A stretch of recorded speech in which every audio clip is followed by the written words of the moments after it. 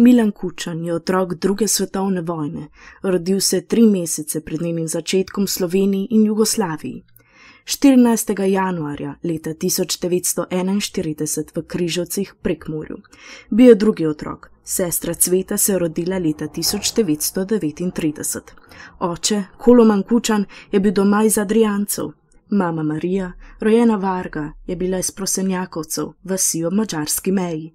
Oba starša sta bila učitelja, končala sta Mariborsko učiteljišče. Po maturi sta službovala na enorazrednih šolah v Prekmurju. V mačarskih in nemških racijah sta bila zaradi odporništva aretirana in decembra 1941 obsojena na procesu v Vacu. Za Milana in sestro so skrbeli sosedi in sorodniki, zlasti dedek v Prosenjakovcih. Oče bil v začetku januarja 1944 prisilno mobiliziran v delovski bataljon mačarske vojske. Na vzhodni fronti je prebegli na sovjetsko stran in se pridružil jugoslovanski partizanski enoti, ki se je na to borila v Srbiji. Padel v boju v bližini Čačka. Kučan je še kot dijak vstopil v Zvezo komunistov, se udeležil in na to vodil več delovnih akcij. Leta 1967 z odliko končal študij prava in se aktivno vključil v politiko. Milan Kučan je bil najpomembnejši slovenski politik v 20-letnem obdobju od sredine 80-ih let 20. stoletja do izteka predsedniškega mandata leta 2002 obdobju, ki ga označujejo prehod iz enostrankarskega v večstrankarski sistem, osamosvojitev Slovenije in njeno vključevanje v evropske in druge integracije, in ki ga običajno označujemo z besedo tranzicija. Tudi predtem je bil še zelo mladih letih pomemben politik, med drugim član sekretarijata Centralnega komiteja Zveze komunistov Slovenije, sekretar Socialistične zveze delovnega ljudstva, predsednik Republiške skupščine in na zvezdni ravni član predsedstva CKZK Jugoslavije. Profil Milana Kučana govori o človeku, ki je svoje življenje posvetil politiki, njeni izvirni, a danes pozabljeni ali neštetokrat zlorabljeni definiciji: delo v dobro skupnosti. Kučan je odraščal v narodnostno in versko večkulturnem okolju, osnovno vrednostno orientacijo je pridobil v protestantsko-komunistični družini in na prvo mesto je vedno postavljal delo. Kariero začel še v zelo trdih časih, ko so bile diferencijacije in tudi doživljenjske izločitve iz javnega življenja sestavni del političnega vsakdana. Tudi sam je tedaj kdaj v javnosti na sestankih uporabljal trde besede, a gledano v celoti je bil človek konsenza. Zato je v 80-ih letih tudi postal sprejemljiv za odhajajočo starejšo generacijo, izraslo iz predvojnega revolucionarnega gibanja in narodno-osvobodilne vojne na eni strani in mlajšo, sprememb željno povojno generacijo na drugi strani. Kučan je konec 60-ih in začetku 70-ih let prepadal liberalistični struji Staneta Kavčiča, ki je želela gospodarsko in politično modernizirati slovensko družbo težkih časih po obračunu, ki ga je preživel in se obdržal politiki, se oprijel zapletenih samoupravnih kardeljanskih definicij, ki so kljub poudarjanju pluralizma interesov v svojem bistvu utemeljile še v leninističnem konceptu enopartijske družbe. V drugi polovici 80-ih let je zagovarjal nestrankarski pluralizem, dokler ga demokratizacija slovenske družbe, ki jo je na vodilnem partijskem položaju sam omogočal, ni pripeljala do teze o sestopu z oblasti. Ker je gradil novo v starem, kot se nekoč sam izrazil, je bil v besedah previden. Iz pričevanj njegovih najtesnejših prijateljev in osebnih gradiv je razvidno, da je bil v razmišljanjih večkrat daleč pred tistim, kar je javno govoril, a je vedno čakal, da je dozoril čas in sistematično usmerjal politični tok v želeno smer. Njegova nazorska usmeritev od druge polovice 80-ih let dalje bi verjetno najbolj ustrezala definiciji klasične socialdemokracije. Prvine tega je sicer mogoče zaznati že v Kavčičevem liberalizmu. Za zahodne novinarje je simboliziral najbolj prosvetljeni del socialističnega sveta in Jugoslavije, eden najvplivnejših ameriških časopisov. Wall Street Journal je leta 1988 napisal, da je verjetno najbolj napreden komunist na svetu. Postavljalo pa se je vprašanje, ali bo zmogel prehod v večstrankarski pluralizem. Podobno se je spraševal tudi del nastajajoče politične alternative v Sloveniji. Tu ni šlo toliko za miselni preskok, ki ga je bil kučan svojo širino, znanjem in sposobnostjo analiziranja družbenih razmer zmnoženo praviti brez večjih težav, pač pa za operativno izpeljavo ob dokaj konzervativnem trdem jedru partijskega članstva in nevarnih jugoslovanskih razmerah. Od leta 1986 do večstrankarskih volitev spomladi 1990 je Kučan, sicer s podporo slovenskega političnega vrha in javnosti, nosil glavno breme odgovornosti v odnosih med Slovenijo in federacijo ter s posameznimi republikami, zlasti Srbijo. S političnimi izkušnjami iz beograjskih let, poznavanjem funkcioniranja jugoslovanskega sistema, mentalitete in osebnega poznanstva z veliko večino politikov, je uspeval na brezkončnih sejah amortizirati pritiske na Slovenijo, preprečevati načrte vojaškega vrha o uvedbi izrednih razmer ter varovati proces demokratizacije, ki je potekal v Sloveniji prvih povojnih večstrankarskih volitvah, na katerih je bil v drugem krogu neposredno izvoljen za predsednika predsedstva, se je zanj začelo zapleteno obdobje kohabitacije z Demusovo oblastjo. Politični schemi, kot je nastala leta 1990, sprva predsedstvu niso pripisovali velike pozornosti in so ga v rivalstvi med inštitucijami, ki so se borile za čim več pristojnosti. To je tridomno skupščino, izvršnim svetom in demosom kot nekakšnim strankarskim CK-jem s pučnikom brez državne funkcije potiskali na stranski tir. To se je dogajalo kljub temu, da so bili tako predsednik kot člani izvoljeni neposredno in so s tem uživali mnogo večje zaupanje kot strankarski veljaki, predsedstvo pa je bilo po svoji politični sestavi nekakšna odslikava političnih opredelitev slovenskih državljanov. Res pa je predsedstvo po intelektualni moči, kulturnih potencah, življenjskih in deloma tudi političnih izkušnjah in po zdravo razumskosti precej odstopilo od tetanjega političnega povprečja, kar je že samo po sebi povzročalo tenzije. Bilo je tudi vrhovni poveljnik teritorijalne obrambe in formalno je tako v izjemnih razmerah imelo velika pooblastila. Kučan si je zlasti prizadeval, da bi presegal Demosovo prvinsko iz proti komunizma izhajajoče nezaupanje in da bi iz predsedstva naredil osrednjo točko odločanja slovenskega političnega vodstva ter iskanja konsenza o ključnih vprašanjih v času nestabilnih notranjih razmer, zaostrovanja konflikta s federacijo in na to desetdnevne vojne, je zelo pomembno postalo politično obvladovanje ambicioznih ministrov za obrambo in za notranje zadeve, kar je Kučan zmogel izpeljati, a na račun nezadovoljstva znotraj predsedstva. Bonapartizem malih napoleončkov, kot je to znal poimenovati France Bučar, je pač imel svojo politično ceno. Kučanova politična sposobnost je ne nazadnje odsevala v geslu demosovih veljakov. Ne pojdi k Kučanu, ker te bo prepričal. Tako imenovano razširjeno predsedstvo, ki ga je uspel spostaviti, predsednik in člani predsedstva, predsednik izvršnega sveta, predsednik skupščine, obrambni, notranji in zunani minister, občasno tudi član zvezdnega predsedstva Janez Drnovšek in še kakšen od ministrov, je zagotavljalo strateško, zlasti pa operativno enotnost ob ključnih zadevah, čeprav v formalnem smislu to ni bil predstavniški organ in če bi se kaj zapletlo, bi se odločitve razlomile na neposredno izvoljenem predsedstvu.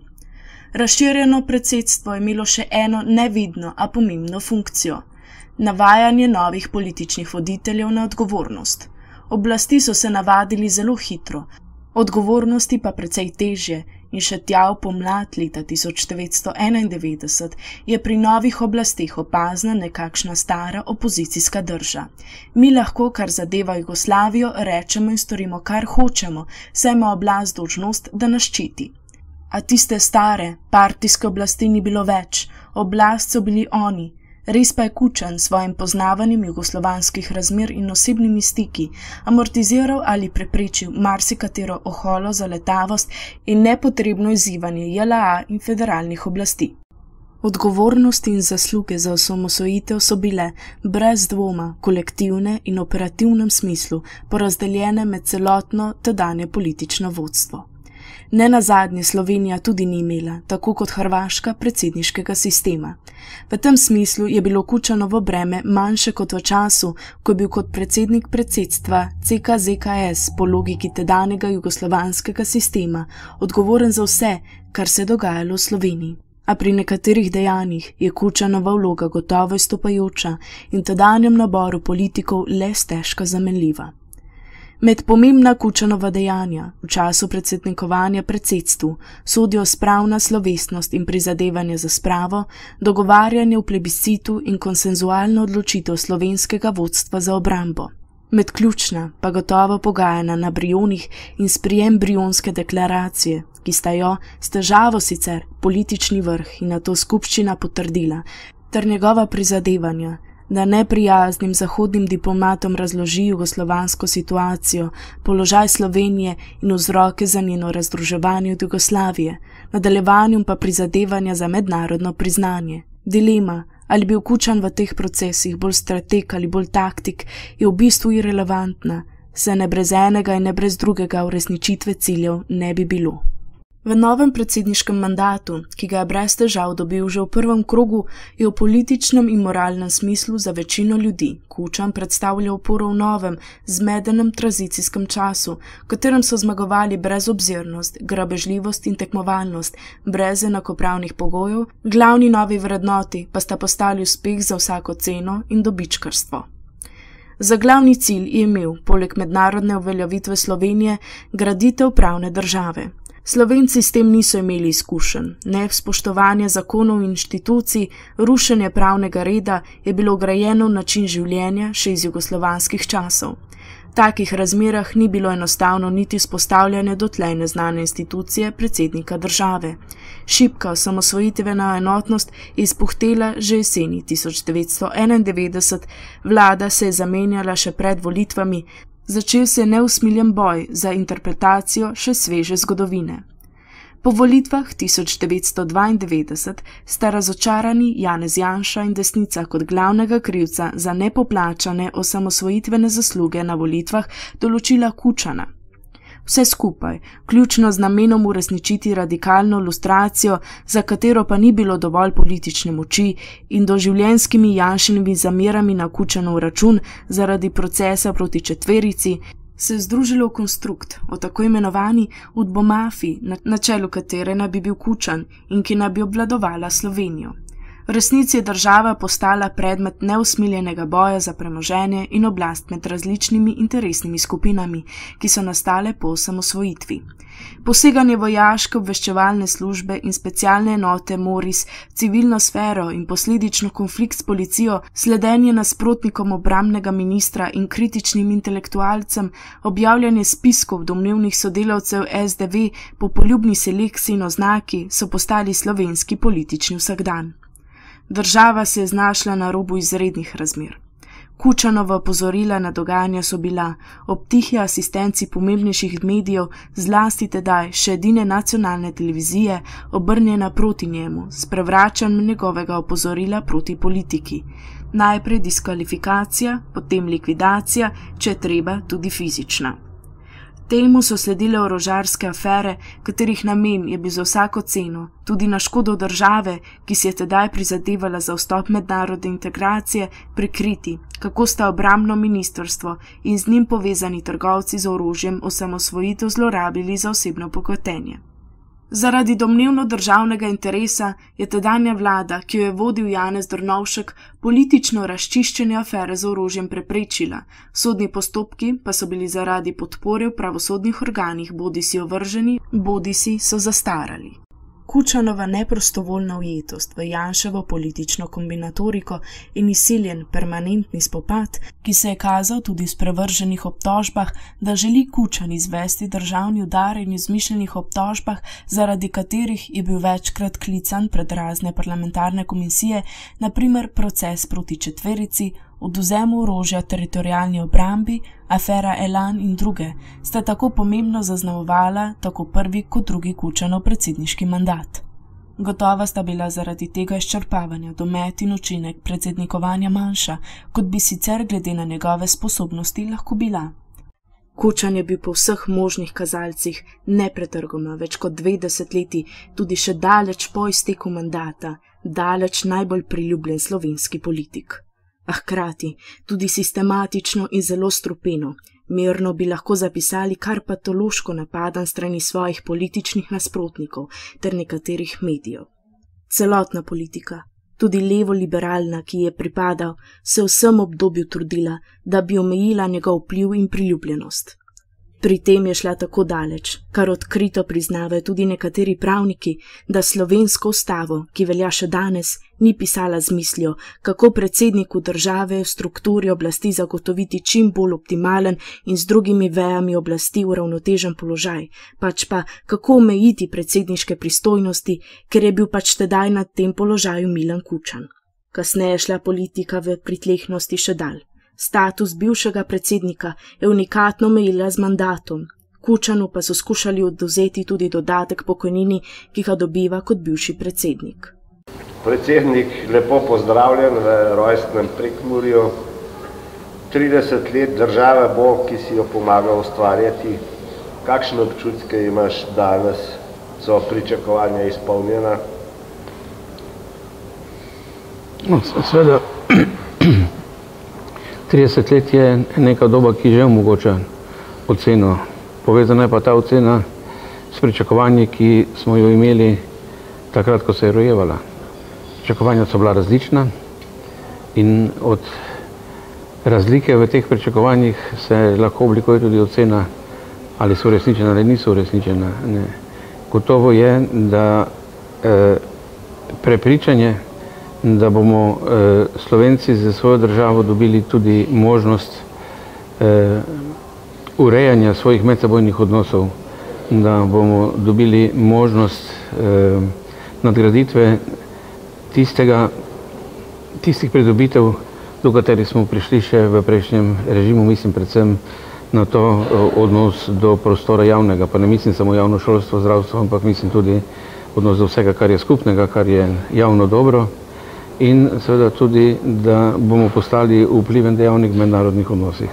Če z vidika teh pričakovanj pogledam, potem seveda smo postali država, ki ima vse svoje inštitucije, ki je klasična parlamentarna demokracija, tako je zgrajena, da pa so odnosi znotraj tega seveda eh, tipični na nek način za Slovenijo, ki je nesposobna, da bi se izkopala iz eh, tega zgodovinskega spora, ki je povezan že z dogajanjem pred drugo svetovno vojno med njo in po njej in da je to po moje največje breme, ki nas vleče nazaj in ki ga v teh 30 letih nismo uspeli eh, eliminirati, rekel bi nasprotno, ki če dalje bolj posega v naše aktualno življenje in je okužil ne samo drugo, ampak tudi že tretjo in celo četrto generacijo.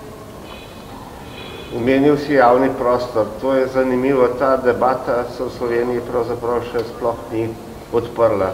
Je pa v nekaterih državah precej aktualna. No, se pravi, omejevanje tega skupnega prostora, tudi na banalni ravni, plaž, parkov in tako naprej, je hkrati omejevanje svobode in je spreminjanje definicije družbe. Kako se ti zdi, gremo v to smer neke popolne privatizacije? Neke popolne mm. zasebnosti, ki, ki jo omogoča denar. No, jaz seveda mislim, da je ključni spopad v Sloveniji danes, če ta ideološka ozadja in dimenzije odmislim, da je spopad za eh, prostor javnega. In eh, da se eh, nekako poskuša usiliti trg kot urejevalce odnosov na področje eh, zdravstva, na področje šolstva, na področje socialne politike na urejanje prostora, na urbanizem, stanovanjsko politiko, skratka, povsod, kjer bi takšna majhna nacionalna skupnost, kot je Slovenska, morala krepiti občutek odnosa do varovanja javnega, ne v bistvu podlega kapitalskim interesom, ki so dosti krat lobirani tudi z interesi tujine, ne da bi se tega sploh zavedali. In najbolj se je mogoče to pokazalo ravno pri eh, razprodajanju eh, tistega, kar so generacija pred nami ustvarjale kot skupno dobro za svojim odpovedovanjem in ta eh, odnos do tega se mi zdi, da je najbolj problematičen in da pravzaprav danes o patriotizmu govorijo tisti, rezultate tega patriotizma izničili in omogočili, da so se ga polastili tujci. To se je začelo z denacionalizacijo, seveda.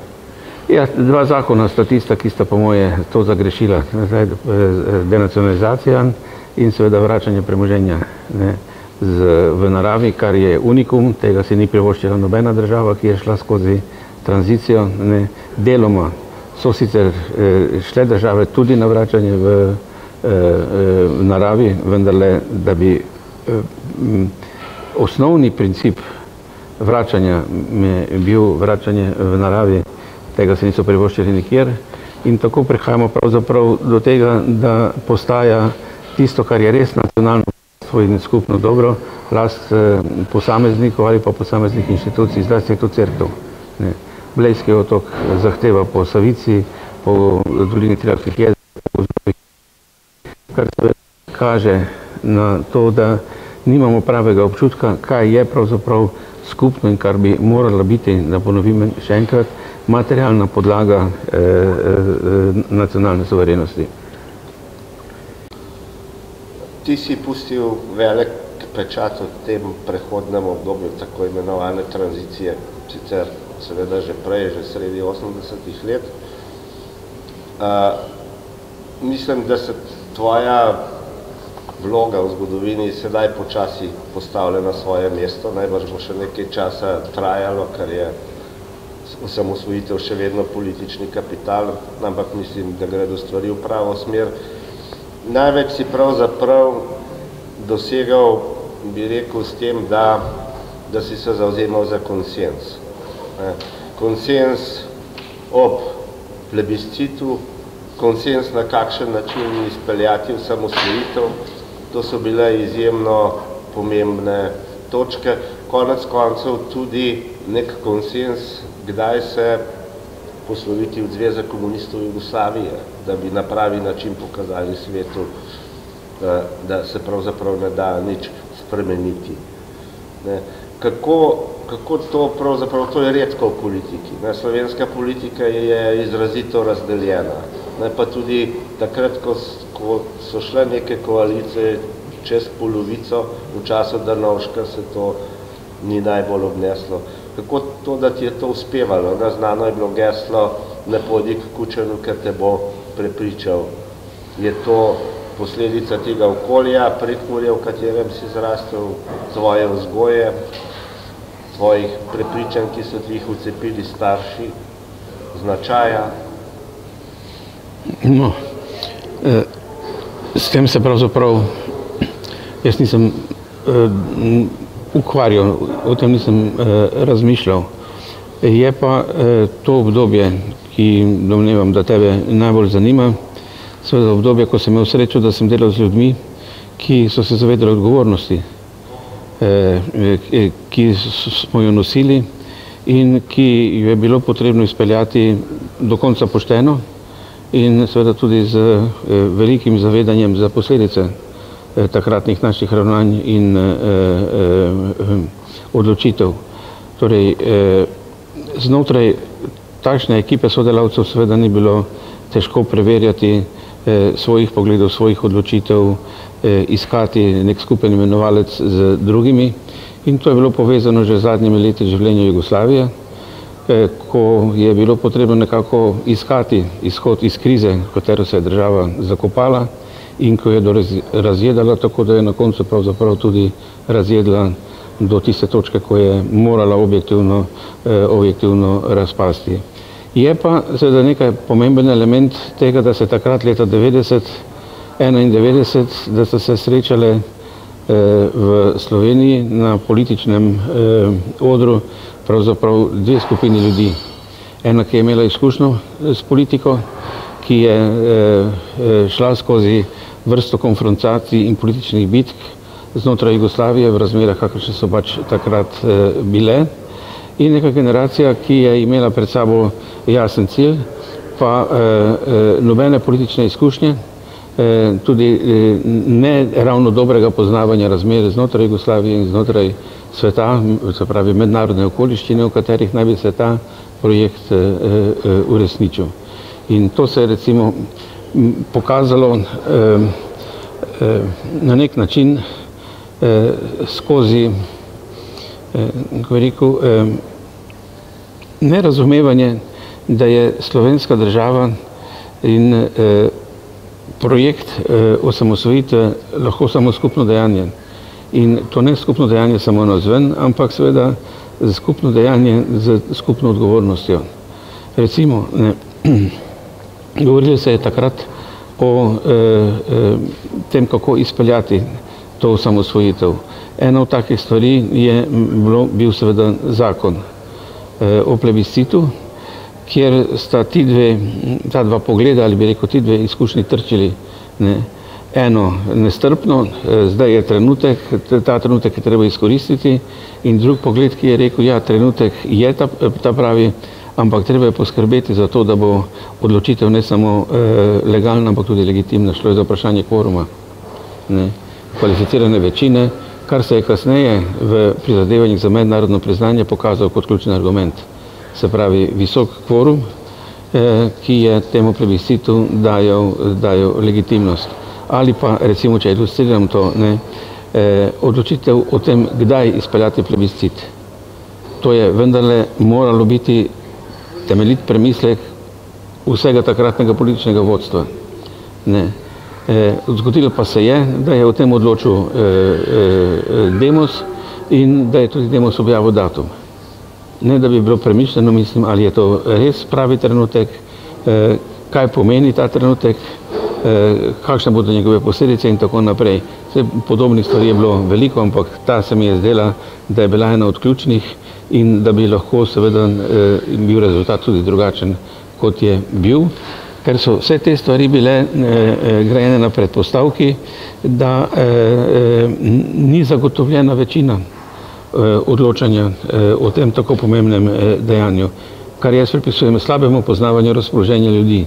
Mi, ki smo seveda eh, šli skozi te prejšnje politične bitke, smo točno vedeli, da je razpoloženje v slovenske javnosti takšno, da ni ogrožen izid plebiscita in da tudi tako visoko postavljen kvorum ni ogrožen, da pa lahko z prehitrimi odločitvami in z nepremišljenimi odločitvami seveda ta kvorum tudi, tudi zmanjšamo. Tako da to so pravzaprav tiste stvari, ki so eh, bile pomembne in ko je bilo potrebno iskati soglasje, In zelo pomembno je bilo seveda tudi soglasje takratnih parlamentarnih političnih strank tik pred plebiscitom, da skupaj prevzemajo odgovornost za izid eh, plebiscita in seveda dostavek, ki se ga je hitro pozabilo, da si nobena od strank ne bo pripenjala zaslug za izid plebiscita. No, To mislim, da že drug dan pravzaprav po uradni razglasitvi rezultatov se je začelo, mi smo zaslužni, eh, to je naša zasluga, vi ste, niste imeli s tem nič, vi ste bili proti in tako naprej.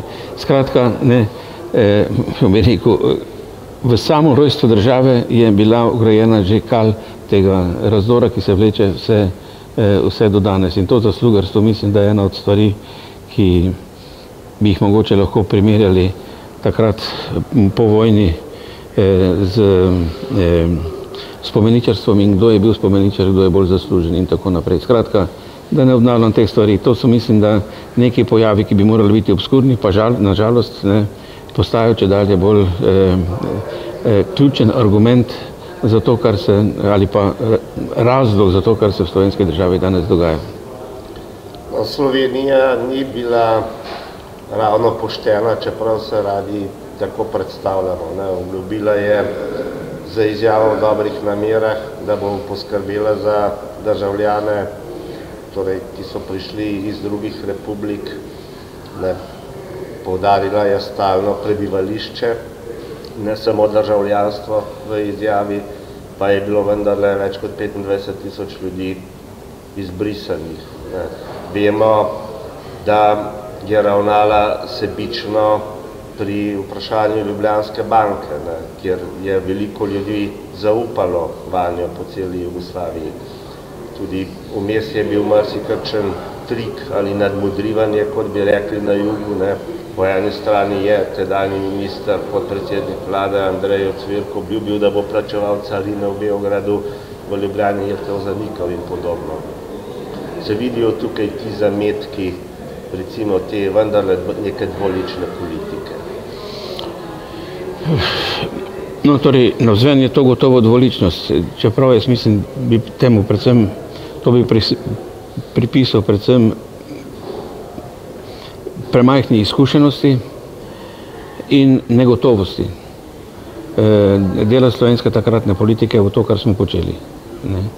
In eh, na tej predpostavki nezaupanja so se potem vlekle poteze, ki so pustile veliko neko temno podobo na eh, Sloveniji in eh, že samem rojstvu slovenske države. Ne. Eh, ravno zato, da bi dokazali, mislim, kako eh, čisti so nameni eh, Slovenije z osamosvajanjem, eh, smo takrat sprejeli to izjavo o dobrih namerah. Ne ki je naj bi, se pravi, drugim delom Jugoslavije in svetu pokazal, kaj pravzaprav je platforma, eh, na kateri se želi zgraditi slovenska država. Ne, to smo potem z izbrisanimi eh, seveda grobo prekršili. Kaj vse je do tega pripeljalo, je zdaj seveda bolj ali manj znano in se mi ne zdi potrebno to ponavljati. Je pa to madež, jaz se rečem temu pravni umor, ki je lahko enak tistemu fizičnemu umoru takrat po eh, drugi svetovni, svetovni vojni. Ne, okoli tega seveda so še danes eh, eh razlike v Sloveniji kljub eh, ustavnemu sodišču in kljub eh, eh, odločitvam Evropskega, Evropskega sodišča. Ljubljanska banka, ne, se spomnim sva midva z pokojnim Francetom Bučarjem to označila kot prevaro. Ampak se seveda o tem ni dalo pogovarjati, ne, Drnovšek in njegova ekipa so bili za to gluhi. In še par je takih potez, ki smo jih vlekli, ki puščajo ne lepo podobo o eh, slovenski državi, o razlikovanju med deklariranim in med realiziranim. Se pravi, ta dvojnost je tudi nekaj, kar še zmeraj kot mračna senca spremlja to državo. Eno vprašanje me je vedno mučilo eh, pri plebiscitu, recimo Dogovor je bil o tistem enem znanem vprašanju. Ne, se pravi, odločali smo pravzaprav ali ali. Ne. Je pa bila debata tudi o bolj razdelanem vprašanju. Ne. Če me spomin ne vara, naj bi to predlagal celo Janus Janša. Ne. Torej, da bi bila tri vprašanja. Vprašanje, ali ste za Jugoslavijo kot je, ali ste za konfederacijo, ali ste za samostojno državo, se pravi po tedajni interpretaciji recimo za odcepitev. Kaj misliš, to je seveda if history, bi se zgodilo, če bi ljudje imeli na možnost tudi to tretjo možnost konfederacije, ki seveda realno gledano ne bi mogla obstati, ampak v tistem trenutku je bila opcija, na katero so pravzaprav prisegale vse stranke, s figo v žepu ali brez nje. Torej, to tretje vprašanje o konfederaciji mislim, da ni bilo realno. Ne, ljudje tudi niso imeli nobene predstave, kaj pravzaprav konfederacija je. E, v teh političnih razmišljanjih se je seveda, da bi nekako eh, eh, omilili to ostrino od, odločanja, zlasti na vzven, ne na vznoter, se je o tem govorilo, ampak to je bilo v naših premišljanjih ne, že pred letom 90 in seveda tudi po letu 90 samo kot neka prehodna oblika. Prehodna oblika, ki naj bi eh, v nekem določenem času v tej konfederalni ureditvi pravzaprav omogočala preveriti, ali obstoji interes za tesnejše eh, skupno življenje z narodi nekdanje Jugoslavije na novih osnovah, eh, eh, ali pa, da če tega ni, potem najti način za miren razhod. In mi smo ga tudi iskali. To se dosti krat pozablja, da je eh, že potem januarja leta eh, 91 slovenska skupščina ponujala sporozum o mirni razdružitvi, zavedajoč se posledic nasilnega, nekontroliranega razpada. Nažalost, ta naša prizadevanja za miren razhod niso naletela na razumevanje v drugih republikah. Sabor Hrvaške sicer dal neko soglasje, ampak v glavnem smo s tem ostali, ostali eh, sami. Eh, eden bistvenih elementov, ki je spremljal takrat to, eh, ta dokument o mirni razdružitvi, je bil tudi poziv mednarodni skupnosti, da je treba videti, da je življenjski tek Jugoslavije prišel do konca, da je nevarnost nasilnega razpada, krvavega razpada in da je čas za intervenco. In če bi takrat mednarodna skupnost intervenirala v potek razdruževanja, bi se seveda lahko temu nasilnemu razpadu in vsem tragedijam, ki so sledile, izognili. Ampak takrat so seveda opcije bile drugačne. Takrat je kljub vsemu bila opcija mednarodne politike prevladujoča še zmeraj ta, da je treba ohranjati Jugoslavijo kot faktor stabilnosti ali kot nek tampon med shodom in zahodom, kljub temu, da je takrat že berlinski zid eh, padel in eh, najbrž, ne, čeprav zato bi težko našel konkretne argumente, tudi bojazen pred Pandorovno skrinjico, ki bi se odprla, če bo Jugoslavija razpadla. Torej, prva usmeritev in napor je bil ohraniti Jugoslavijo in če, ne, če se to ne bo dalo, potem bomo že videli, kako bo. In ko smo videli, kako bo, takrat je bilo že prepozno za intervenco. Vzemal za, že takoj na začetku, za to tako imenovano tretje soglasje, ne, za katerega v politiki absolutno ni bilo posluha. Še v času Šinigojeva vlade so nastali neki nastavki uh, identitete, identitete Slovenije. Ne, to je bilo naročeno tudi v marketingu, to ni šlo samo za PR akcijo, ampak v resnici, kaj naj bi bila vsebina nove države, ki jo je treba predstaviti svetu. Ne. En tak poskus je potem naredil Janez Drnovšek, ko je bil že predsednik države v neki drugi fazi, ne, na katero je vplivala bolezen. O tem je išlo šest ali sedem knjig, ki so ostale popolnoma brez učinka. Ne. In tudi Borut Pahor je naredil neko tako bledo varianto teh pogovorov, da ne rečem, da je Slovenija v svoj načrt dala, da bomo vsi srečni do 50 let. Ne. Če potem potegnemo črte, so seveda to bolj ali manj vse neke prazne besede brez jasnih konkretnih ciljev. Ne. Kako si si predstavljal to družbeno, tretje družbeno soglasje? Upravljanje države, kakšen kapitalizem želimo, kakšen politični sistem?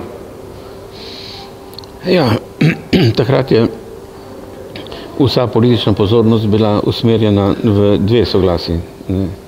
Se pravi, če grobo rečem, samostojna država in njena umestitev v integracijske procese, ki so takrat že zaznamovali, eh, zaznamovali Evropo, to se pravi Evropska skupnost oziroma kasneje Unija in, in NATO. Eh, s tem, eh, kakšna pa naj bo vsebina države, kakšna naj bo identiteta te države, s tem se seveda takrat ni hotel nihče ukvarjati, zdelo se je, da je to pravzaprav neko besedičenje, ki nikomor ki nikomor ne koristi. In eh, ravno zaradi pomanjkanja tega tretjega soglasja so se potem v Sloveniji zgodile in se dogajajo stvari, ki jemljajo eh, ali pa vsaj eh, nekako majejo eh, prepoznavno identiteto Slovenije in nas postavljajo nekam na rob dogajanja ne samo v Srednji Evropi, ampak tudi v Evropi in v svetu in v svetu eh, eh, nasploh. Ker eh, eh, recimo, eh, če, eh, vem, če to pravi izraz, imenujem, zato je tudi v državo samo v rojstvu zgorjeno nekaj konstrukcijskih napak. Ne. Sicer ima država vse bistvene elemente demokratične države, ki temelijo na parlamentarni demokraciji, je zgrajena tudi na načelu eh, delitve oblasti med tri veje, v praksi seveda pa te stvari ne funkcionirajo ali pa funkcionirajo zelo deformirano. Ne, eh, nek občutek, da so potrebna eh, soglasja o ključnih odločitvah pomembnih za državo. Ta občutek je zelo hitro izginil. Danes se veliko govori v politiki o tem enotnost, enotnost, enotnost. Enotnost ne more biti politični program. Se pravi, enotnost, ki je bila takrat o plebiscitu, čeprav se tudi ta idealizira in ni bila takšna, kot se o njej danes govori, ampak bila je enotnost izražena skozi udeležbo in glasovanje na plebiscitu, ne, ampak ta enotnost je imela podlago vsebinsko. To je bilo odločanje v samostojni državi. Ne. In eh, tudi potem eh, odločitve o NATO oziroma predvsem v Evropski uniji, to je bil nek program, se pravi vsebina tega enotno, eh, te enotnosti. Danes pa zahtevati enotnost, pa ne povedati na čem, In tu se kaže jalovost eh, slovenske politike, da ni sposobna ponuditi programov, projektov ali pa če drugače rečem neke vsebinske podstati, ki bi izhajala iz analize, kje danes smo, kje danes Slovenija je v Evropski uniji, kakšno je mednarodno okolje, kaj se v svetu dogaja in kako zagotoviti prihodnost te države in tega naroda v teh obstoječih razmerah. Tega manjka. Politika je čisto pragmatična, v glavnem se itak vrti okoli vplivali jaz bom kar direktno rekel, občutka ali pa prepričanja, da je zmaga na volitvah eh, eh, eh, plen povar za to, da si prilastiš to državo, da, si, da to je država tvoja, tvoj plen, dokler si na oblasti si odeli in potem pač poskušaj preprečiti, da bi drugi to isto, to isto počeli. Ne. Mogoče je to malo preveč eh, poenostavljeno rečeno, ampak če pogledate, kako stvari tečejo, potem seveda vidite tudi, da na mesto teh prizadevanj kot sem že prej na začetku rekel, za obrambo prostora javnega, ne, se deli to, kar je in to še celo niti ne, kar bi še nekako recimo bilo obvladljivo znotraj te nacionalne in državne skupnosti, ampak s tujci in predvsem tujcem.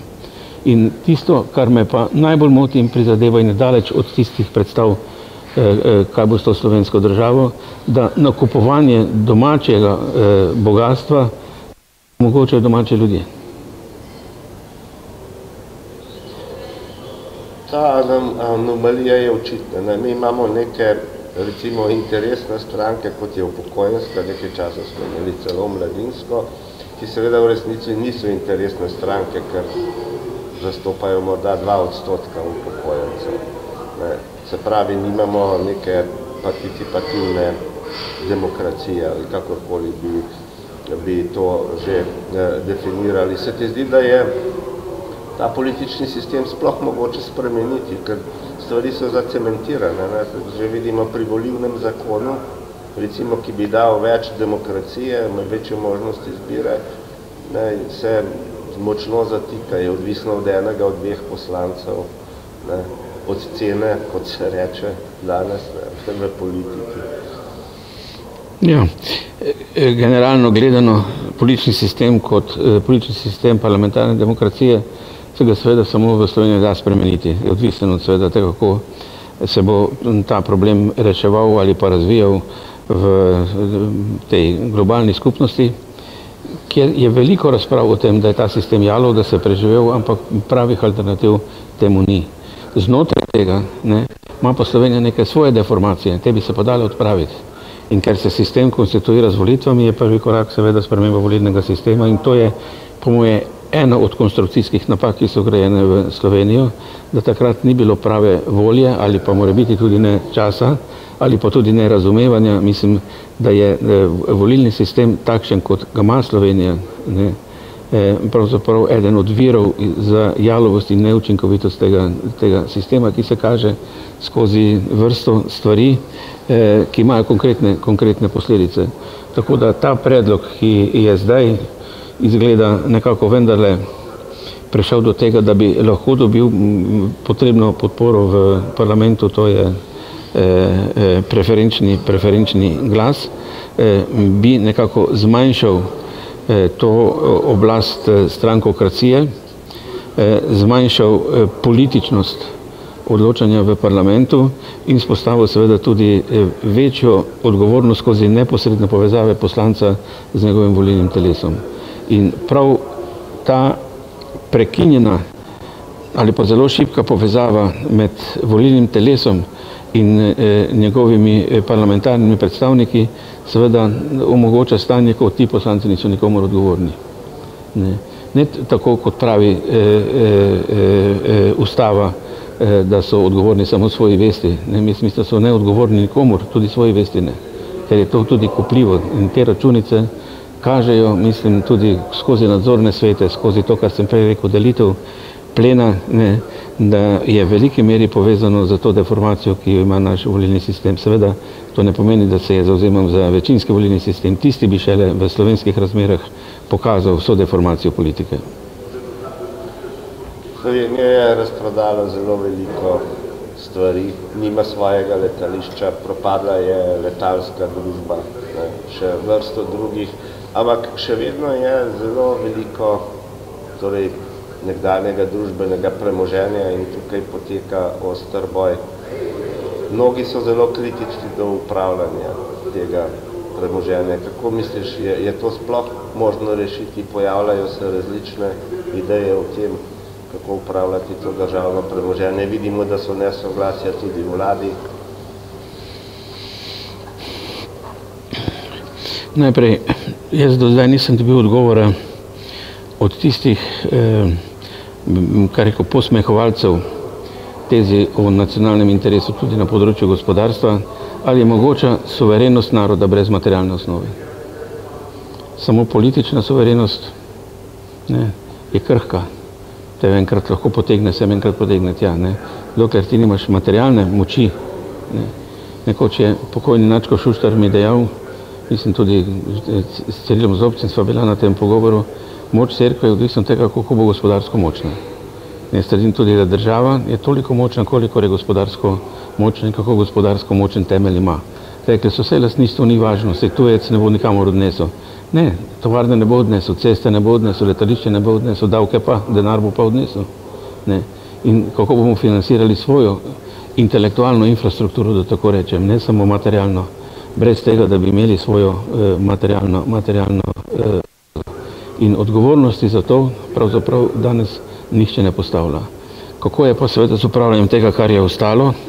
Mislim pa, da je eh, pri nas se veliko govori o korporativnem oziroma korporacijskem upravljanju, ne, smo pa v praksi daleč od tega. Ne. Ker to je še zmeraj samo vprašanje realnih odnosov moči med posameznimi strankami, kdo si bo poskušal kaj, eh, kaj prisvojiti in seveda postavljati svoje kadre mimo tega, kar ti ljudje znajo. Sej mene toliko ne bi motilo, če je pomembna tudi strankarska pripadnost kot eden od kriterija. Ampak seveda, če, so, če tekmujejo za ta mesta ljudje, ki so strokovno usposobljeni, ne, je to prvi kriterij. Drugi kriteriji so potem seveda manj pomembni. Problem pa je pri nas, da je pravzaprav kriterij strokovnosti skoraj nepomemben. Ti si začel z simbolnim aktom postopek sprave v Sloveniji v Kočevskem rogu s srečanjem s tedanjem načkofom Šuštarjem. To je eno danes en najbolj izrabljenih pojmov v Sloveniji. Ne. Kako misliš, da je se s tem sploh še smiselno ukvarjati? No, da so odnosi povezani s tem, kar se je dogajalo v preteklosti, ne samo 70, ampak še več let nazaj v slovenski družbi oziroma v slovenskem narodu, To gotovo je problem. Kako ga preseči, je seveda vprašanje, ki je zaenkrat brez odgovora. Razmišljanje in govorenje o spravi je seveda poskus enega odgovora in jaz nič ne podcenjujem teh naporov.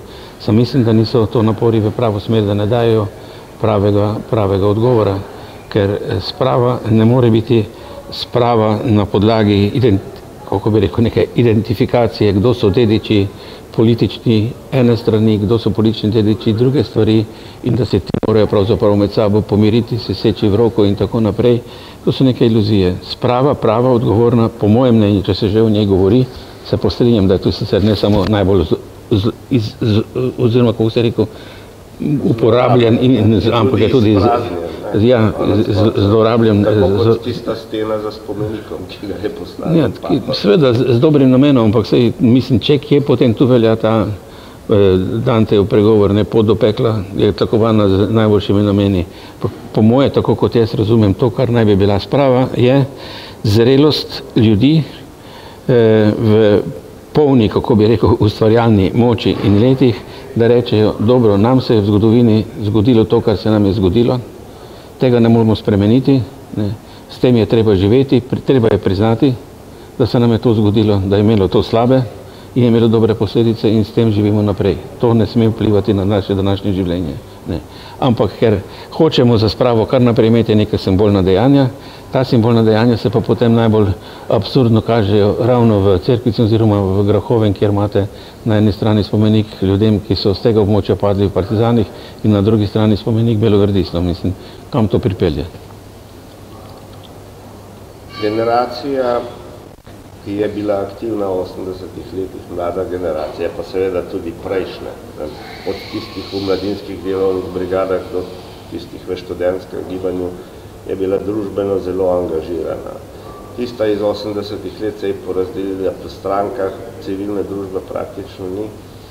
Danes so mladi popolnoma apolitični. Ne berejo časopisov, ne gledajo televizije, ne, vedo, ne ločijo med predsednikom države in predsednikom vlade, ne vedo, kakšne so razlike med vejami oblasti. Kako misliš, da je to možno preseči ali sploh ima smisel preseči? Ne? Ker tukaj bi lahko rekli, to je znamanje normalizacije slovenske družbe. Ne, se pravi, ni se jim treba več ukvarjati s politiko, tukaj so ljudje, ki so za to kvalificirani. Ampak ne gredo tudi na volitve, da bi take ljudi izbrali. Ne. Kaj torej storiti? Ali ni posledica stanja, v kakršno smo pravzaprav tudi posledica te izrazite apolitičnosti, ne, ki ima seveda tudi svojo drugo plat, izrazito organiziranost skozi crkva skozi določene stranke, ne, ki pa je ideologizirana. Ja, to gotovo je problem, ampak ni problem samo Slovenije. Ne. To mislim, da je danes v vsej Evropi problem ta neka apolitičnost eh, mladih ljudi, naveličenosti s politiko. Eh, ima pa v Sloveniji seveda tudi svoje karakteristike ta apolitičnost, ki je pogojena z tem, o čem sva uh, govorila zdaj, se pravi o tej usodni razdeljenosti slovenskega naroda in seveda tudi po mm, eh, svoje tudi na, v občutku, da se itak ne da in nima smisla eh, ukvarjati s politiko, ker ne moreš ničesar spremeniti.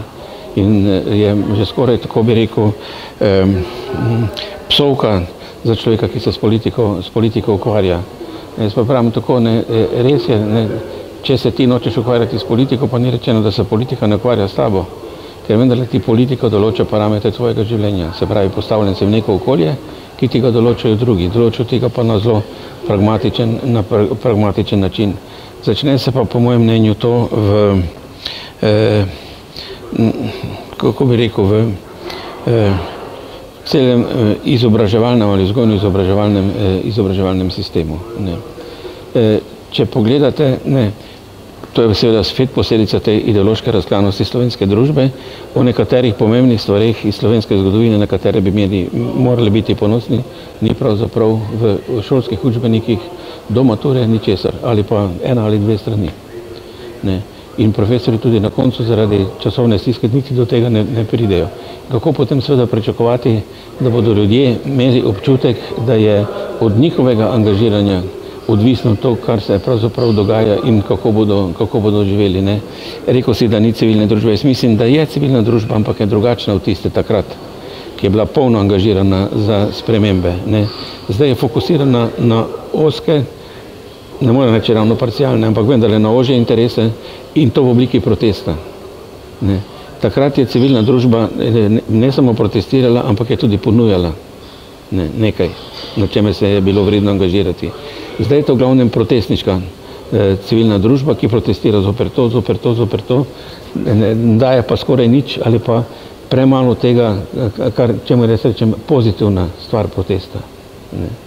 In zato se seveda ljudem ne zdi vredno, to še gredo, še sposobni so nositi še eh, transparente, ne, po svoje se mi zdi tudi kot neke vrste happening, ampak kakšnega eh, učinka pa to seveda nima, ker tako kot protestniki ne vzamejo tega čisto zares, tako seveda tudi politika tega ne vzame čisto zares. Se pravi, na nek način se to folklorizira in to je mislim slabo.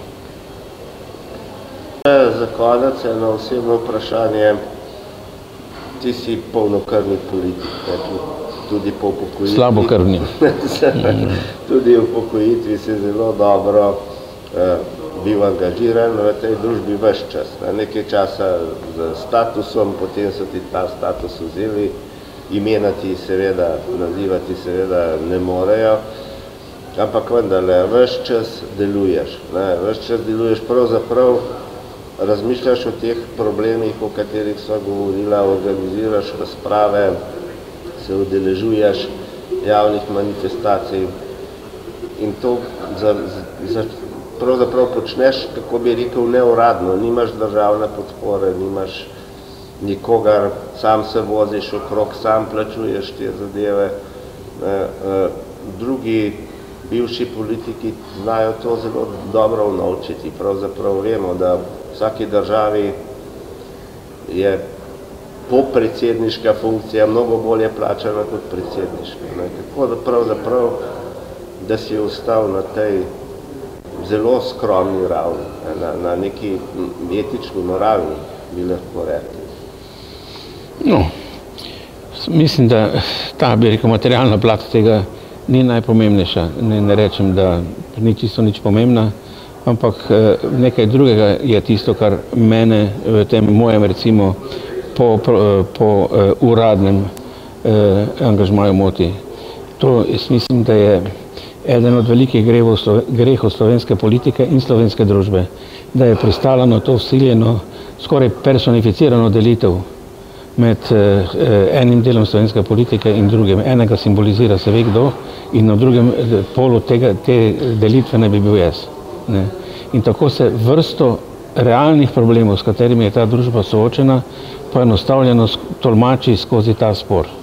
Ne. In seveda na tak način se do korenine problemov in do njihovega odpravljanja ne da priti. Ne more biti to spor dveh ljudi. In jaz spora z tem drugim človekom ne, nimam, ne, imam spor z njegovimi političnimi eh, eh, eh, projekti oziroma z načinom njegovega razumevanja politične, politične parlamentarne demokracije. To je seveda neka objektivna stvar, ne more biti pa subjektivna. In to, mislim, ta perso personalna polarizacija slovenske politike je nekaj, seveda, kar ne pelje to družbo k dobremu izhodu. Rekl sem prej, da je to državo vgrajenih nekaj konstrukcijskih napak. Ena od teh je seveda tudi to pravzaprav nepriznavanje državnih institucij. Mi smo državo ustanovili, ne, imeli smo pravzaprav inštitucije te države, ki je takrat je bilo to predsedstvo države, je bila uh, skupščina, je bil izvršni svet, ne. odločitve so se pa sprejemale izven teh državnih inštitucij. Ne, sprejemali so se znotraj Demosa, ki je bila vendarle strankarska eh, eh, inštitucija oziroma povezava strank. Seveda oni so imeli večino, razumljivo je bilo, da so se odločitve pripravljale znotraj te grupacije, ki se imenovala Demos ampak eh, eh, formo, eh, eh, značaj, pomen odločitve eh, so eh, te, ti njihovi sklepi lahko dobili šele takrat, ko so bili verificirani skozi formalne in legalne inštitucije države. Se pravi, ko so bile sprejete na predsedstvu, ko so bile sprejete v parlamentu, v skupščini in v izvršnem svetu. In takrat se je govorilo o tem, demosova vlada, ne, v predsedstvu se je v glavnem eh, rekel, na, na nek način tudi zakrivalo eh, nekatere stvari, ki so bile zelo pomembne in se je pozabljalo, da vsi skupaj nosimo odgovornost za to, kar se, kar se je dogajalo. Ne. In to še danes pravzaprav eh, eh, velja, eh, ta ista miselnost. Nedavno sem poslušal eh, našega nekdanjega ministra, eh, dr. Rupla, ki je rekel takrat, ko so eh, hodila eh, po evropskih prestolnicah eh, eh, prepričevati eh, naj podprejo slovensko osamosvojitev, se pravi za mednarodno priznanje Slovenije, pravi Kučan je zagovarjal politiko Demosa. Jaz sem bil predsednik predsedstva in sem zagovarjal politiko Slovenije, nisem zagovarjal politika Demosa, ampak to je pri človeku, ki je intelektualc, ki je bil toliko časa minister, ki pozna svetovne razmere, za njega je to še zmeraj politika Demosa, ne politika Slovenije, pa ni usamljen. Ne? In to je nekaj, kar mislim je neko, eno od bremen, ki si jih je ta država navezala okoli vratu. No, tukaj bi pa jaz eh, nekaj pravzaprav vprašal dodatno. Če gledaš te dokumente, ne, danes so v veliki meri žal zaprti, ne, ampak jaz sem videl dokumente predsedstva vlade in tako naprej, kasnejši arhivski zakon in zakon o osebnih podatkih, zelo zapira, ampak če gledaš dokumente, vidiš nek zanimiv fenomen, ki je mogoče tudi začetek neke, bom rekel, država, neka otroška bolezen, ampak ljudje niso, se niso zavedali odgovornosti. To je novi novi politični recimo razred, ki je prišel, je še dolgo deloval kot nekakšna opozicija. Torej, oni so bili navajeni, da tukaj je nek ščit, to je bila takrat pač zveza komunistov, partija, in so vedeli, dokler partija napade, mi ne pade, mi lahko znotraj tega pravzaprav počnemo, kar hočemo. Potem, ko so pa prevzeli odgovornost, ne, pa vidim skozi te debate, zapisnike, pa tudi to, kar si povedal, da se še tam v leto 91 vleče to prepričanje, da skratka mi lahko zahtevamo, ne pa prepričanje ali stališče, mi moramo nekaj narediti. Ne, že pri prvi vladi pravzaprav, ne, pri tej Peterletovi se vidi to. Ne, če ne bi takrat prišlo do neke tihe notranje organizacije, vprašanje, kako bi bili s temi samosvojitvimi projekti.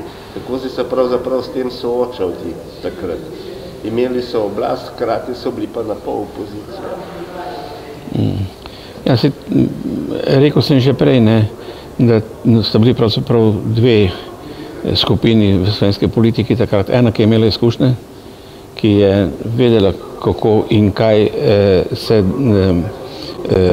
dogaja z jugoslovansko krizo in kje so nevarnosti tem procesom demokratizacije, ki so bili v Sloveniji odprti in druga, ki pravzaprav je imela relativno slabo poznavanje tega, imela je svoje relativno razpoznave cilje in nobene odgovornosti in mislim, da ne razlagam na eh, dolgo uporabo bi Bučarjeve besede, enkrat mislim, da je on to rekel. Ne.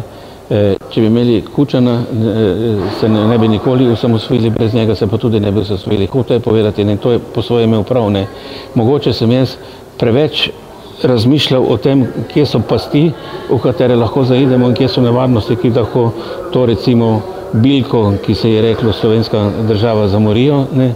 po drugi strani ne, pa eh, eh, eh, sem le vplival na to, da ni bilo preveč tega voluntarizma, če uporabim srski izraz, lahko čemo. Ne. Daleč od tega lahko čemo, nevarnosti so bile zelo velike in zelo, zelo realne. Tako da to, kar sprašuješ, je seveda, seveda res.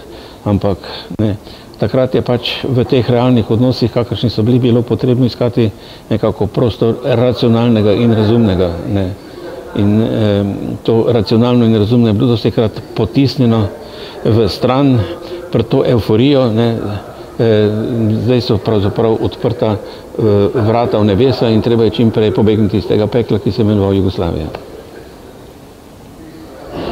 Ne. No, to sta pravzaprav z, z Gencem ne, takrat prehodila kako je to izgledalo, kakšne občutke si imel, vse takrat že ni bilo pravzaprav resno. Ne, ne, ne. ne. Ampak meja je bila. Ma, meja še zmeraj je bila, še zmeraj so bili eh, eh, policaji in naši miličniki in eh, eh, oziroma naši policaji in mađarski policaji. Potne liste je bilo potrebno seveda imeti takrat, no takrat na tisti slovesnosti meja. Tam smo šli brez dokumentov na ono stran in potem spet nazaj. Tako da to je bilo nekaj, kar je kako vračalo spomin na tiste čase, ko ni bilo treba imeti še eh, potnih listin oziroma eh, dokumentov. Vmes je bilo pa kaj 50 let, ne 40 let. Uh mhm. -huh. ne. No, z Gencem sta postala prijatelja, sta pravzaprav del, del te srednje evropske inicijative, kamor sodil tudi Havel pa Košnjeski. Na takrat se je zdelo, da iz te srednje Evrope nekaj bo, danes je pa pravzaprav to neka povsem drugačna povezava. Kako se ti zdi, je to šlo v neko napačno smer, vi ste bili precej optimistični. Takrat se je, še, je bilo še možno razmišljati o tem, da imamo neko skupno identiteto. Ja, seveda, takrat je tudi bilo obdobje optimizma in eh, nekega prepričanja, da vrednote, ki so nas povezovali, da bodo ostale kot vezno tkivo tudi za prihodnost in se bodo še nadgrajevale. V resnici smo pa priča enemu retrogradnemu procesu, ki odmika od tistih vrednot in tistih pričakovanj. Ti veliki pobudniki te takratnega srednjeevropskega povezovanja, res je bil Havel, ne, skupaj z eh, avstrijskim predsednikom, eh, so, ideja se je pravzaprav rodila na nekem eh, festivalu, mislim, da v Salzburgu. In potem se je to razširilo. Prvo tako srečanje, eh, res srednje evropsko, je bilo potem v češkem Litomišlu.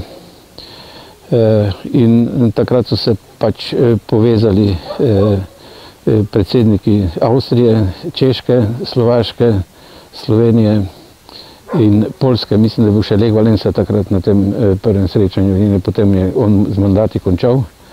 Eh, nadomestil ga je potem Košnjevski, ki je bil potem aktivni udeleženec in ima nekako, rekel, ne, ne morem več zaslugo, ampak je eh, eh, odgovoren za to, da se je eh, razširila stvar, eh, najprej potem na, na Ukrajino, eh, pa na Moldavijo, pa potem na Romunijo, pa na Bolgarijo, tako da je ta srednja evropska identiteta razvodenela. To se je razširilo in je postalo neko mednarodno srečanje, ki kot vsa druga ne pač omogoča neko razpravo brez pretirane koristi. Če bi to danes recimo primerjal z to neko eh, zgodbo, ki se imenuje Brioni eh, Brdo ali eh, ne vem, kaj je še nekaj, eh, mislim, da so štiri take, tri, ne, ne, tri, tri, tri morja, tri morja, tri ja. morja pa ne, vse to je, je v redu, mislim, dokler se ljudje pogovarjajo, to boljše, kot da se poiskujejo, ampak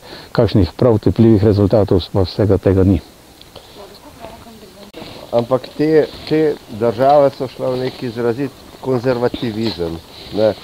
Poljska, vemo, ima strogo prepoved splava, ne, te, nekatere te, od teh držav so izrazito arbitrarne. Kako se ti zdi Slovenija? Smo šli po isti poti, ne, vendar so bili vsaj poskusi ne, z nekimi čudnimi referendumi o oploditvi z biomedicinsko pomočjo in, in podobne zadeve, kjer naj bi kar vsi ljudje o tem odločali. Vprašanje splava je bilo pravzaprav že v vaših začetkih, pri ustavi. Eno ključnih vprašanj, zaradi katere tudi ni bila sprejeta, ker najprej je bilo mišljeno, da bo sprejeta ustava in skozi ustavo potem osamosvojitev. Je šla Slovenija potem po podobni poti nazaj s tem konzervativizmom, odnosom do spolnosti in tudi sicer Ja, si, ti retrogradni procesi so pravzaprav zaznamovali vse te države, čeprav ne, to je le treba vedeti, da Slovenija pravzaprav še najmanj šla po tej proti, čeprav ni imuna. Ne, vi ste omenjali tu pritisk na splav, se pravi omejevanje nekih temeljnih pravic. E, imeli smo čudne referendume, referendum o, o umetni oploditvi, e, referendume o e, čisto finančnih vprašanjih, referendume o vprašanjih, ki so čisto strokovne narave. Tako da je referendum kot najbolj demokratična oblika upredeljevanja državljanov, je dosti krat seveda tudi zlorabljen in Slovenija eh, nima poguma ali nima dovolj volje, da bi se te zlorabe referendumov uprla. Eh, te države so nekatere sicer izrazito neoliberalne, ampak nekatere, če gledamo Mađarske, so pravzaprav uvedle neke vrste, bi lahko rekli, čeprav učitajo drugim, da, da so komunisti, ampak je izrazit, so izrazito egalitarne, vsaj do določene mere. Ne, pravzaprav, morda bi bilo pretirano reči, da je to nacionalsocializem, ampak vendarle, ne, če vprašaš poprečnega Mađara, pravi, da jim gre zelo dobro, da nikoli niso občutili krize in podobno.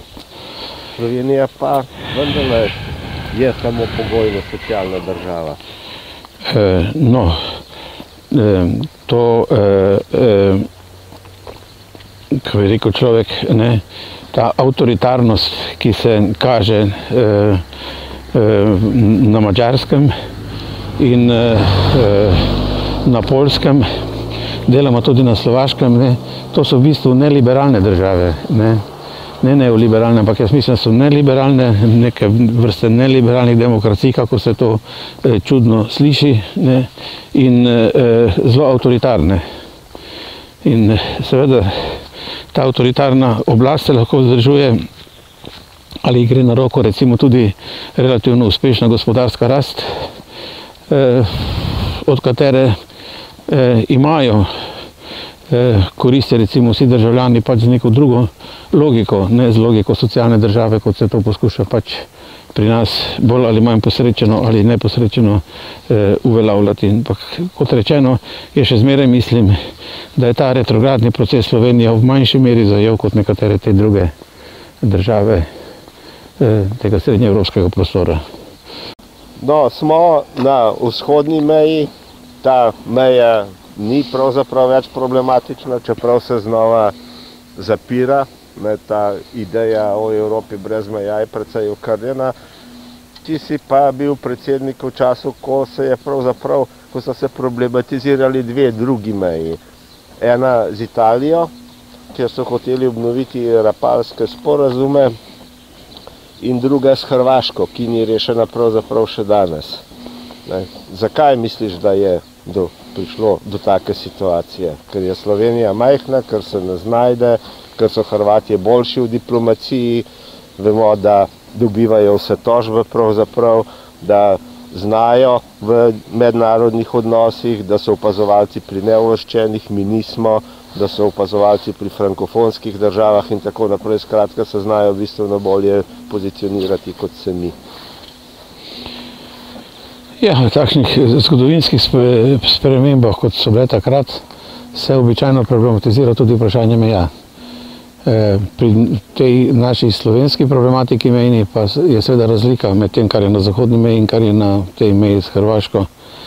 E, e, Italijani so pač poskušali takrat v tistih razmerah, kot si rekel, e, ponovno preveriti, ali se da spostaviti rapalska meja. Jaz mislim, da se temu sicer niso nikoli odrekli, ampak vendarle je takrat veljalo, da se nostrificirajo osinski sporozumi, ki so dokončno določili mejo med Slovenijo oziroma takrat Jugoslavijo in eh, Italijo in Slovenijo kot dedič teh sporozumov potem tudi uveljavila. Res da, to je treba priznati z pomočjo ministra Demikelisa, ki je speljal ta postopek ratifikacije eh, pogodbe tudi skozi italijanski eh, parlament. Ampak pač, če zdaj eh, lahko slišite, ne tako redko, da je pravzaprav meja tista, ki je za Italijo meja, meja pri vrhniki.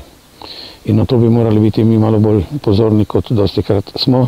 Ne rečem, da je to realno, da je to izraz uradne italijanske politike, ampak treba je razmišljati o tem, kaj če se spremenijo geopolitične razmere, takrat seveda te stvari postanejo lahko na drugačen način aktualne. S Hrvaško pa seveda meje nismo imeli nikoli določene, mislim na morju.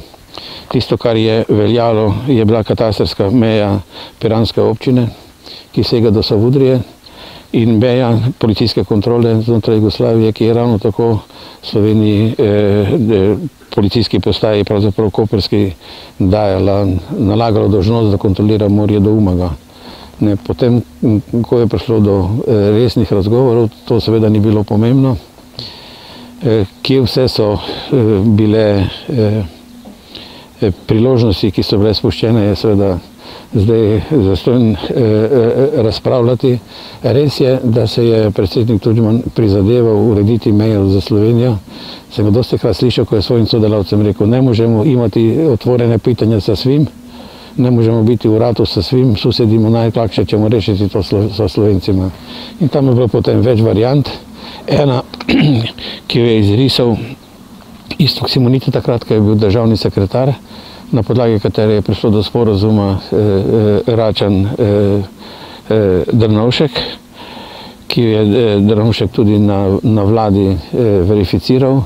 Eh, Račan je pa ni mogel, ker mu je zagrozil sedanji predsednik eh, Hrvaške Milanovič, ki je bil takrat podpredsednik stranke Račanove in mu je takrat, vse tako je meni pripovedoval Račan, dejal, da ga bom prvi nazval narodni izdajnik, kako pristaneš na taj sporazum. Evo, to je neka realnost, katero je treba računati. Zdaj se sliši, če se bodo stvari kaj spremenile eh, z Milanovičem. Mislim, da bistveno ne, mogoče ne bo prihajalo do incidentov na morju, kar se mi pa zdi že, da je bistvena sprememba. Vseeno se zadnje z tako mejo se lahko živi, dokler so razmere normalne. Ne. E, vprašanje meja se zmeraj aktualizira takrat, kadar se razmere zaostrijo. Ne, ni nujno, da pride do vojne, ampak kadar lahko pride do manj racionalne, do bolj emocionalne politike in seveda to vprašanje potem politika lahko zelo eksploatira. Ampak v, pravnih, v teh mednarodnih pravnih odnosih pa očitno nismo kaj uspešni. V Hrvati predvsej več, ne, tudi lobirati znajo očitno drugače. Ja. Verjetno, da nas bodo sodišča rešila in priznala arbitražni sporazum. To je več kot očitno, da ne znamo, ampak ne, to je seveda sploh vprašanje eh, eh naše zunanje politike, ampak o tem raje govoril ne bi. Samo v enem elementu tega, ne, ali se mi sploh znamo poiskati zaveznike in vemo, zakaj bi zaveznike rabili. No, slovenska zunanja politika je tudi razdeljena, pravzaprav to si občutil sam. Ne? Predsednik nima kakšne vloge ali ima pravzaprav bolj moralno vlogo. Ne? In vse čas so bile tukaj napetosti in konflikti med tabo in med Drnovškom. Ne? Vidimo danes, da v Pahorju ne? je težko reči, ne? kaj pravzaprav počne, razen da se slika na raznih srečanjih reševanja vojakov in podobno ampak ta konflikt, ta dvotirnost, če sploh lahko govorimo o dvotirnosti, bolje o zmedenosti, najbrž obstaja. No, mislim, formalne pristojnosti eh, tudi na področju zunanje politike so jasne po naši ustavi in po eh, zakonodaji in to eh, ni problem.